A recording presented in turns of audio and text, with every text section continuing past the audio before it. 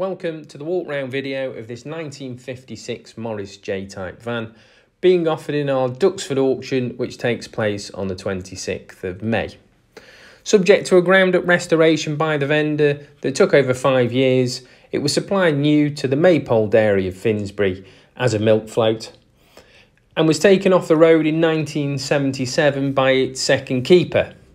Acquired by our current vendor in 2006, it was in a sorry state and was located in a small garage where it lay there for a number of years.